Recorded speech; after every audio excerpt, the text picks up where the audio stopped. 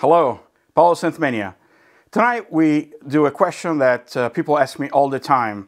Roland Juno 60 versus Roland Juno 106.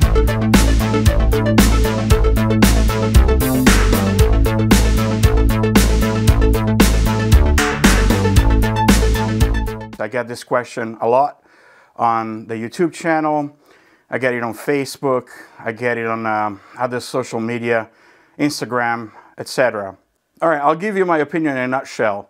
If you want to do 80s style synth pop and similar, go with the Juno 60. If you want to do more like house and techno of the 90s, go with the 106. And again, this is my opinion. Don't start writing, oh, I have a 106 and I use it for synth pop. Oh, I have a Juno 60 and I use it for house and techno. Or any other genre, ambient, new age, jazz, whatever you want. This is just what I've observed over the years. The two synths are extremely similar. They have a very similar sound, but they have uh, different features. So let's uh, listen to a few of the sounds compared to each other first, and then let's talk about the features. All right, again, the two synths sound very, very similar. Let's uh, take uh, an example with the strings.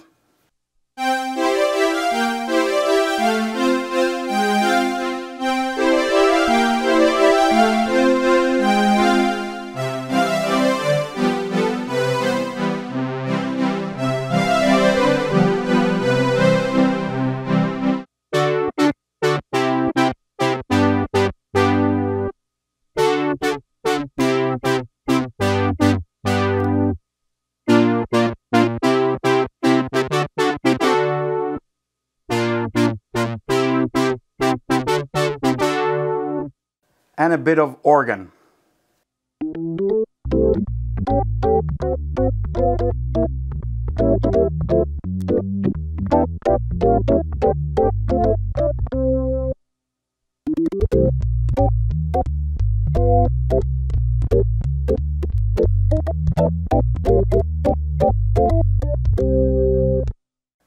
All right, let's uh, quickly talk about the specs.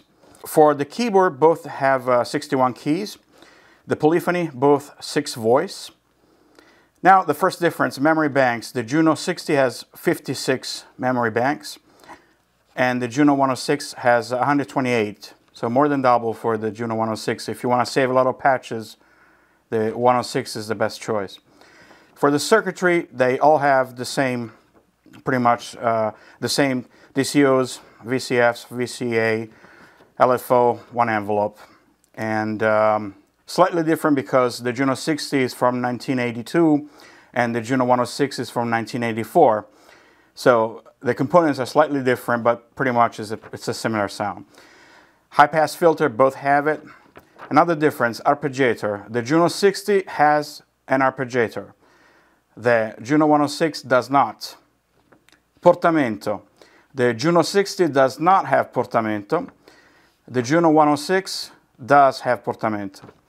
Chorus, they both have it, pretty similar. Both have the transpose. MIDI, big difference. The Juno 60 doesn't have MIDI, has um, the proprietary Roland DCB interface, so you will need an interface such as Roland one or third-party interfaces that you can find in the market, or you can have a MIDI retrofitted. Versus the Juno 106 has MIDI from the get-go, it's built in, in, out, and through and both have the patch shift controls and the pedal hold sustain. And these are most of uh, the similarities and differences of the machines. Now let me tell you why I think uh, the Juno 6 is better for synth pop and the Juno 106 is better for house techno. I'm not the only one and actually I observed that during the years. I was actually there during the 80s and uh, 90s when um, these two keyboards were being used. And I'm sourcing this information from uh, the A to Z of uh, analog synthesizers. And uh, you're not a synth maniac uh, if you don't have these books. These are like the Bible of uh, synthesizers. And uh, I don't think actually they're for sale anymore. So Peter Forrest, please uh, do another batch. so let's look at the um, users of the Juno 60. Bam, right from the beginning, I'm singling out some of the bands here. a-ha, it doesn't get much more synth pop than them and uh, Cabaret Voltaire, China Crisis, uh, Vince Clarke, and again, it does not get any more synth pop than Vince Clarke. Then you got the Wham, John Foxx, Level 42, Man at Work, Howard Jones, of course, another great proponent of uh, the Juno 60 and the Jupiter 8. Um, George Michael in um, Everything She Wants, Madonna in Like a Virgin, and also Cyndi Lauper used it, and uh, the Eurythmics, Swing Out Sister, The Cure, and a lot more. So definitely it's got that sound that's good for those genres and those bands. And now for the Juno 106. Again, from the start, BAM, 808 state. so again, house techno. Apollo 440, again, techno. And uh, Madonna, True Blue, this is a little bit back actually, this is the 80s. And then the Chemical Brothers, again, great bands from the 90s. EMF, another great band from the 90s. S Express, again, house. Incognito, Inner City, house. Uh, and um, also, again, another exception here, George Michael, I Want Your Sex.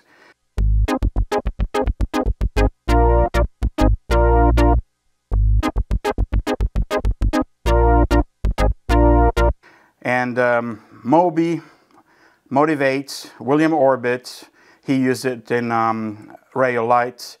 And uh, Kevin Saunderson, again, doesn't get much better than that for house.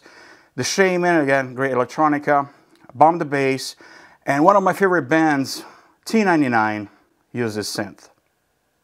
Okay, let's talk about the Juno 60 and why it's great for synth pop.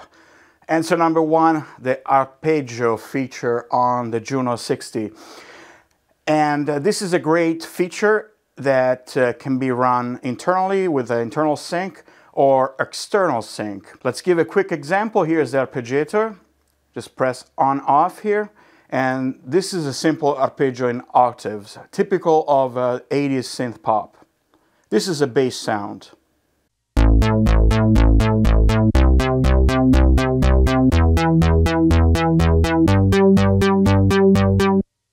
And notice the sound stops when I remove my fingers. You can use the hold features to hold the arpeggio.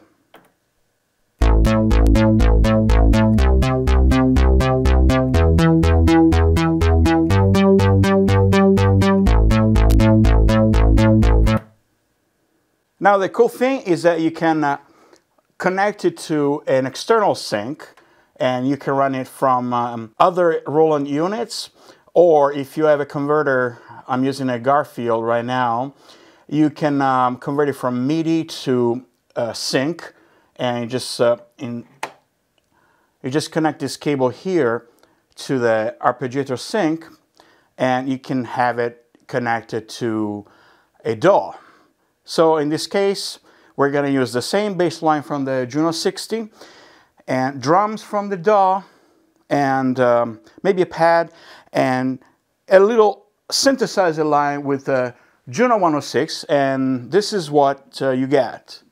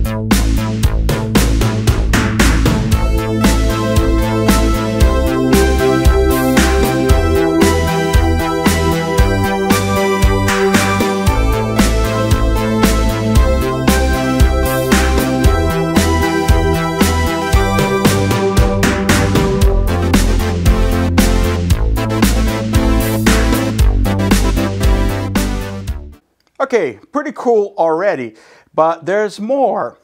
Again, the arpeggiator on the Juno 6 is very versatile. Basically, you only need to find a way to sync it to a modern uh, recording setup. Uh, you can use the old units like I do, like the Roland and the Garfield, but you can also use uh, more modern units like, um, like a Kenton or similar. And so we don't have to stop there with the bass line. We can use the arpeggiator to play also some melodic uh, rhythms. And uh, I set it to up and three octave um, on the arpeggiator. And uh, this is what you get, for example.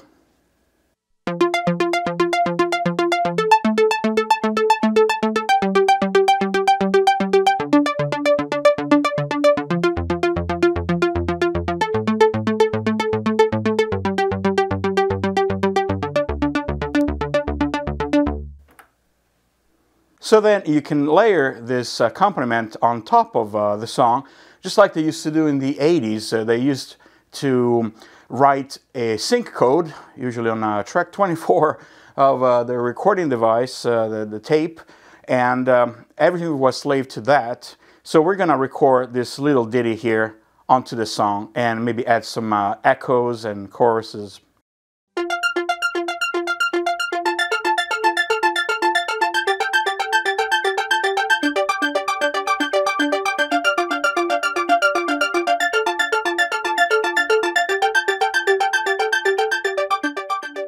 And uh, this is what happens.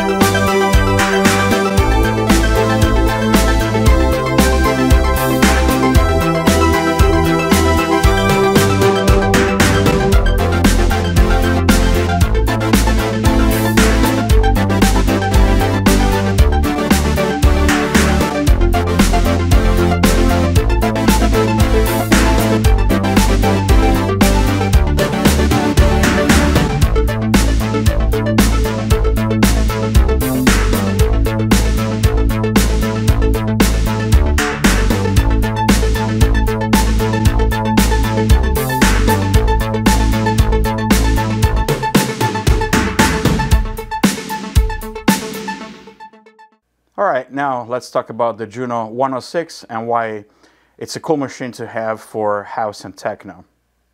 Alrighty, here we have the Juno 106 and here are the reasons why this was used a lot in house and techno in the 90s.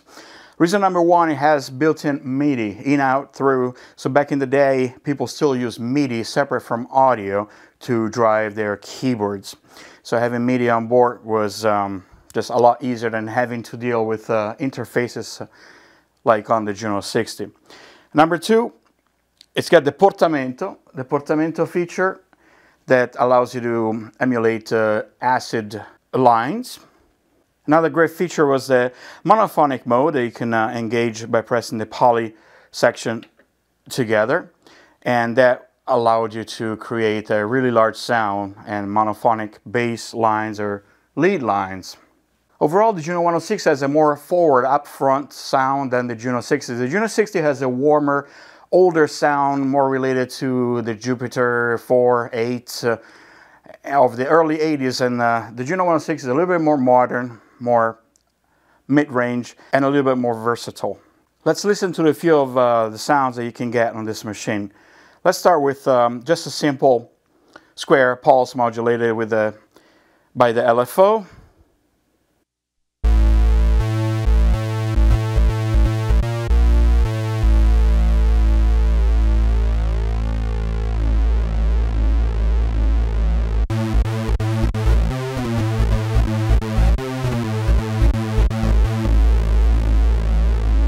As you can hear, it, it's already in uh, techno territory, but you can um, enter monophonic mode and um, this will shake the walls. So I'm going to bring the volume down just a tad because, and this is what you get.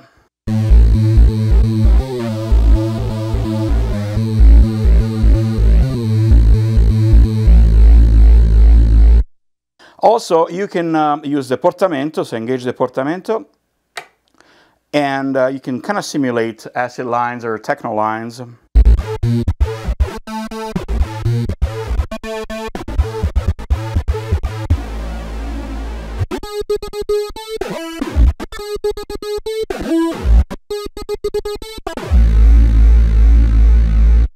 You can play with the filters and um, come up with uh, basses, lead lines.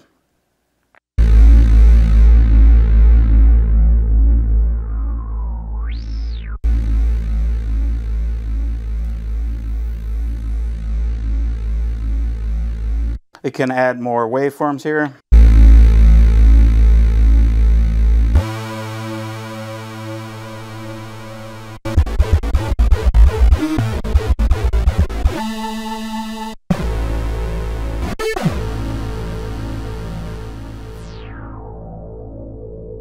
put some sub and get some really deep bass.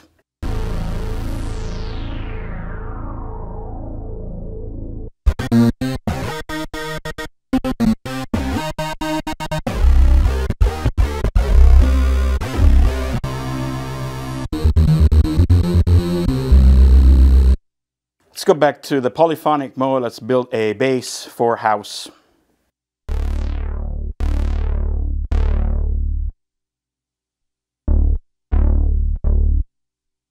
And here in this range you get the typical house bass that was used in the 90s.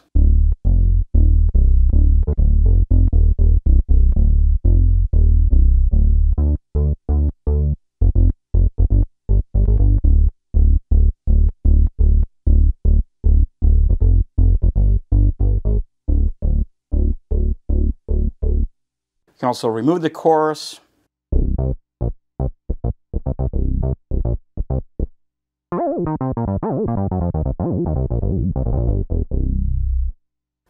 You can get great leads too. Let's enter monophonic mode and let's add the portamento here.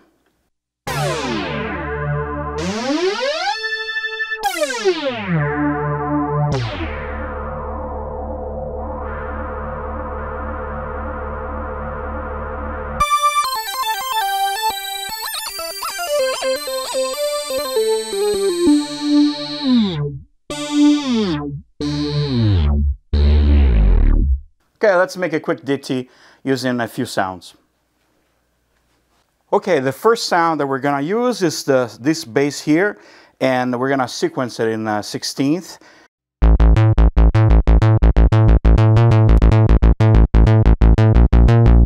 Something like this, you know, of course when it's sequenced, it, it's gonna be tight. And then um, as I'm playing it via MIDI in, I'm gonna modulate uh, uh, the oscillator with, uh, with the LFO, such as like this.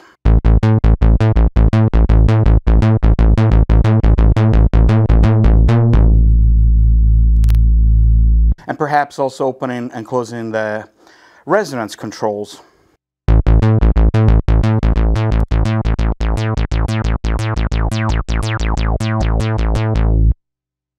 So this is what's gonna sound once it's sequenced.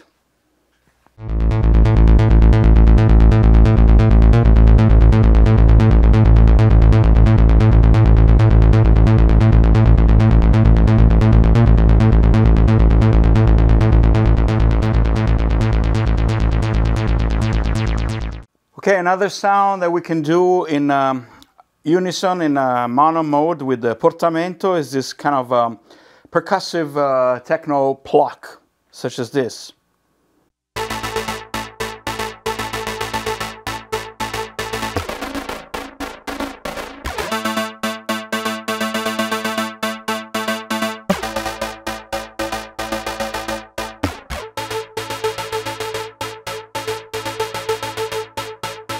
And of course, we're gonna sequence it so it's tight, and we're gonna add some uh, reverb and delay as well. And it's gonna sound like this.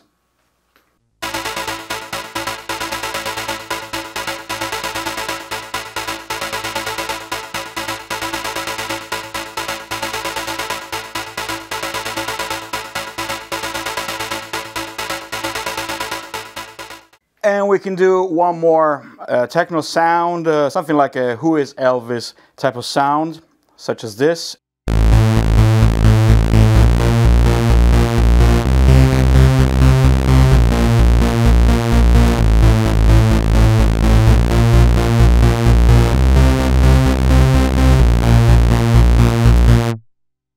And then we're gonna sequence it and put um, some effects to it so it sounds like this.